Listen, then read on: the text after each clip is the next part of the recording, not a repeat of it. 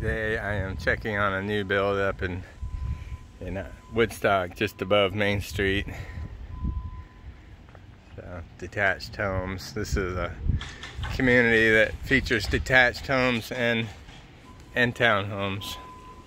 My client's got a detached home under contract.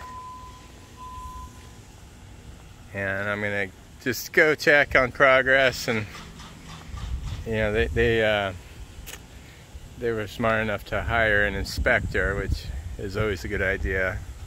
I don't care if you're buying a resale or new construction. It's always a good idea to hire an inspector. And this, the inspector found a couple of things, so I'm uh, I'm checking up on that, make sure that they were handled. Here's my here's my buyer's house. Be ready for occupancy probably in September. It's originally supposed to be July, but new construction can be a little tricky sometimes, you know, based on weather. And, and this year, uh, supplies, building supplies have been kind of sporadically uh, not available. And, uh, you know, builders have challenges. But uh, looks like we're on track for September occupancy.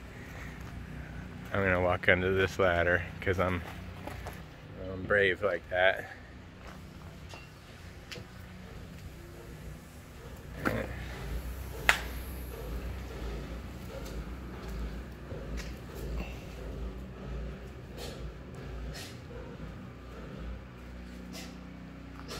So when I'm walking through, I'm looking for uh, gusset plates that don't quite meet. Um, missing missing lumber, cracked lumber, that sort of thing. Uh, you know, I do this for all my new construction people, uh, all my new construction clients, but uh, I don't really have a construction background and I'm a realtor. I, I stay in my lane and I really recommend that um, you hire a, professional inspector. They look at thousands of houses and they generally have a construction background. But I'm another set of eyes during the construction process. And I, I take pictures and document.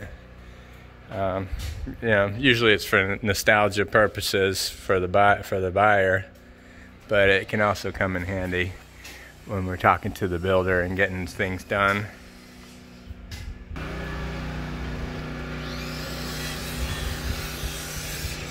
The house is getting painted right now. It's pretty blue color. So construction sites are dangerous. You know, there's a lot of a lot of heights with without railings you can walk off of and staircases that aren't uh, protected. Um, build it. The laborers will leave things like that laying around. So, you know, you really have to watch where you're stepping when you're looking at uh, construction sites. And always check in with the builder's office before you start looking around because you know some activities they just don't want people walking through at that particular moment. So I have come out on builds before and checked in with the office and they said uh, they said that you know today's not really a good day and they've got this and that going on. So and I don't want to get in their way you know? We're all working for the same thing. We want the buyer to get their house on time and, and be happy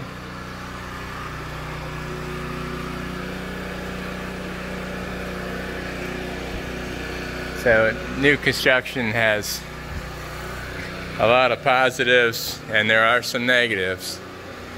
You know, the, the positives, obviously, you get a house that nobody's lived in and you know, you get the nice modern open floor plans and they're highly energy efficient with, with the uh, insulation and, and the building techniques that they use, the houses are very tight. You know, there's not a lot of uh, heat loss or uh, energy loss in new construction. Some of the negatives, they use lightweight construction. See that uh, that lightweight roof roofing and support system. I mean, that's all that's all fine, you know, as long as there's no issues. But uh, you know, this kind of roof that's held by a little thin piece of metal. You know, and all the builders do this. You know, um, that's just the way they build houses these days. Uh, the older houses have really uh, big, fat, dimensional lumber holding up the roof. So, you know, with with my years in the fire service, uh, we would walk new construction just to see what we're uh, dealing with. You know, the fire crew would be walking through here looking at fire vulnerabilities.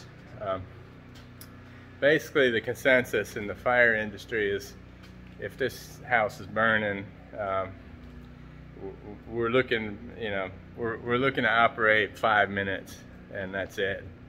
Uh, you know, save save the occupants and not worry too much about the, the house. Uh, make that that's a secondary thing because um, you know it's going to fall down pretty quick. Uh, so that's why it's really important to have your smoke alarms.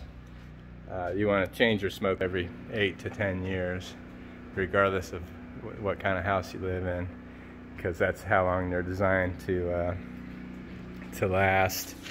But um, you know, the thicker lumber that they use in the old construction, uh, old growth lumber, uh, that stuff, you, you can you can count on a structure like that standing for for a long time, you know, under normal conditions and even even under fire conditions. That's gonna, you know, that's gonna remain standing for quite a long time.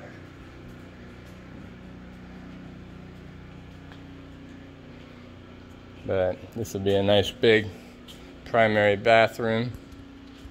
So, you know, I'm, I'm just, I'm filming and I'm walking and talking at the same time.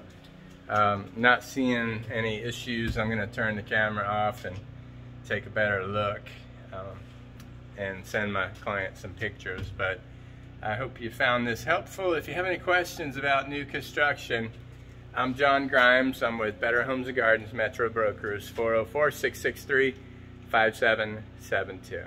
404-663-5772. Thanks.